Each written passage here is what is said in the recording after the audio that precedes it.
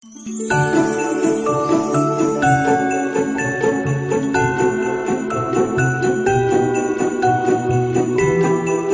gosh, yung sinag ng Anyways, kape-kape tayo, guys. It says Mrs. Always Right yung cup ko.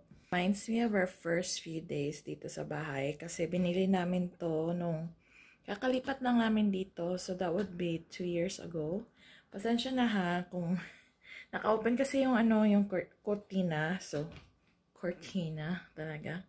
I was gonna say cortina. Silang ikaw te. Anyways, yeah. So, yun nga. Naka-open yung cortina kasi kumukuha kami ng vitamin D ni Aiden. Anyways, yeah. So, kape muna tayo. And same pa rin yung recipe ko, guys. Yung Nescafe pa din na instant coffee plus 2 teaspoon ng hot chocolate. Partner ko ngayon, sa ito siya, sa coffee plus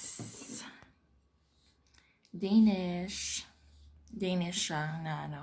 Anyways, may parang jam siya sa gitna. Tapos may sugar, parang icing siya. Hindi siya parang icing nga siya. Tapos, uh, yeah, so it's a pastry. Um, yeah. And si Aiden nandun sa chair niya. And Eva still sleeping, guys. Grabe. An ano, nagising siya kanina umaga, mga 6.35 something. Tapos, she went back to bed, mga around 7 a.m. And then, hanggang ngayon is, tulog pa din siya. And it's already 9 a.m. dito sa amin. And, prepare ko na yung food niya. Uh, which is waffles, tapos uh, blueberries, at saka apple slices. Yun. Yeah, so kape-kape muna tayo. Oh my gosh, merienda tayo guys. Ito yung kinakain ko. Ayan, our finest premium Belgian ito? biscuit collection. And it's a product of Belgium. Isang kilo talaga siya, guys. Wow. Thanks, Dad.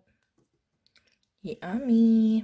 Who, who are you gonna see tonight? I'm Santa Claus. You're gonna see Santa Claus? And I have a Barbie. Yes. And I'm bringing a Barbie. Yep. And she has a bow. Yes. There's ice dog. There's no one. What are you gonna tell Santa? I want a little wing. And, and, and, Gotta say cheese. Say cheese.